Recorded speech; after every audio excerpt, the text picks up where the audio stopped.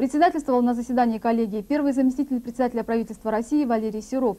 Он же принял участие в открытии первой экспозиции, посвященной пятилетию Содружества, которая разместилась на территории Всероссийского выставочного центра. Наш корреспондент Анна Потагина рассказывает о подробностях этого события.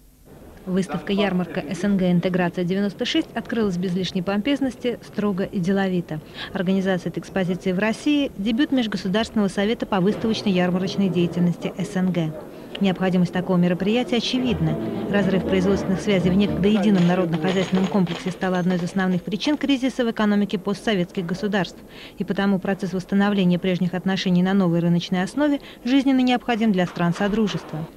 Около 100 предприятий шести государств СНГ выставили продукцию различных отраслей народного хозяйства. Две трети экспозиции представлены Министерством промышленности Беларуси.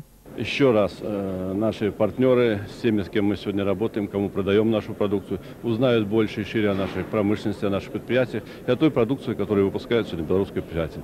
Выставка-ярмарка СНГ «Интеграция-96» была бы невозможна без поддержки Межгосударственного экономического комитета.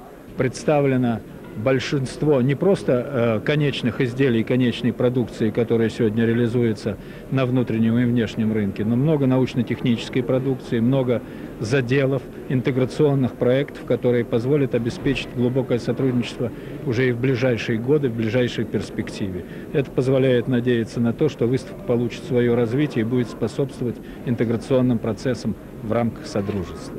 И в заключение выпуска сообщение из Санкт-Петербурга. Наш корреспондент